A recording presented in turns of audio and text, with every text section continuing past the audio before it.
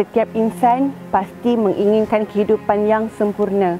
Bayangkan kalau kita perlu untuk hidup sehari-hari tanpa bekalan asas yang mencukupi seperti bekalan air dan juga makanan.